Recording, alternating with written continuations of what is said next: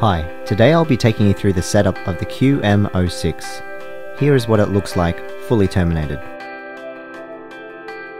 The equipment needed to assemble the connector is the coax cable stripper, the compression tool, RG6 cable, cable cutting tool, and of course the connector itself. The QM06 is a Cabelcon quick mount, a simple and innovative compression connector.